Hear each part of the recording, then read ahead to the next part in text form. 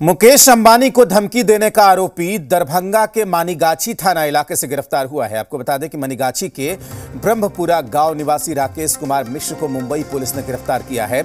सादे कपड़े में पुलिस की टीम राकेश के घर पहुँची थी। उस वक्त घर का मुख्य दरवाज़ा बंद था। पुलिस ने दरवाज़ा खटखटाया, जिसे आरोपी राकेश ने खोला। दरवाज़ा खोलने के साथ ही पुलिस ने राकेश के मोबाइल पर कॉल किया। कॉल राकेश ने रिसीव किया और राकेश को पुलिस ने गिरफ़्तार कर लिया। लोगों का कहना है कि आरोपी राकेश मानसिक रूप से बीमार है। मुंबई पुलिस की छह सदस्यों की टीम आरोपी राकेश को अपने साथ ले गई। मामले को लेकर उससे पूछताछ जारी है। आरोप है कि राकेश ने फ़ोन पर मुकेश अंबानी और उनके परिवार को जान से मारने की धमकी दी थी।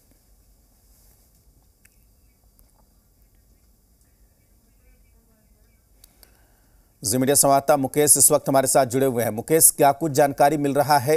इस मिल रही है इस मामले में? क्योंकि आ, कुछ लोग कह रहे हैं कि मानसिक हालत ठीक नहीं है युवक की। देखिए मैं आपको बता दूँ कि प्रसिद्ध उद्योगपति मुकेश अंबानी को धमकी देने के मामले में दरभंगा के मनी मनीगाती से मुंबई की पुलिस पहुँची थी। लगभग छह सदस्यीय टीम ये लोग थे और छह सदस्यीय टीम ने पहले उसके घर के रेखी किया और रेखी करने के बाद उनके घर के पास जाकर के सब चीज़ देख समझ करके उसके उसके बाद उसके घर के पास उस जो आरोपी है, उसके मोबाइल पर रिंग किया। रिंग करने के बाद जैसे ही आरोपी ने घर का दरवाज़ा खोला तो उसके बाद उन लोगों ने उसे गिरफ़्तार करके मणिगाती थाने लाया और फिर उसे लेकर के मुंबई रवाना हो गया। सबसे बड़ी बात यह है कि उसकी गिरफ्तारी के बाद एक बड़ा सवाल यह आ रहा है कि मुकेश अंबानी को को जो धमकी का मामला है, उस मामले में उसके पास वो नंबर सब कहाँ से है?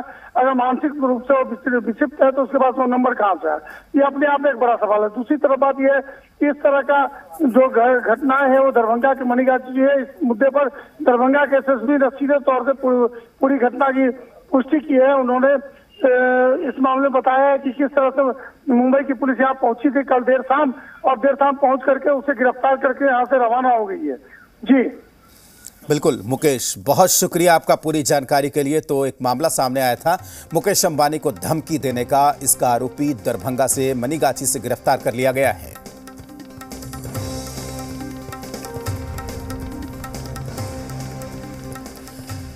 और खबर सासाराम से है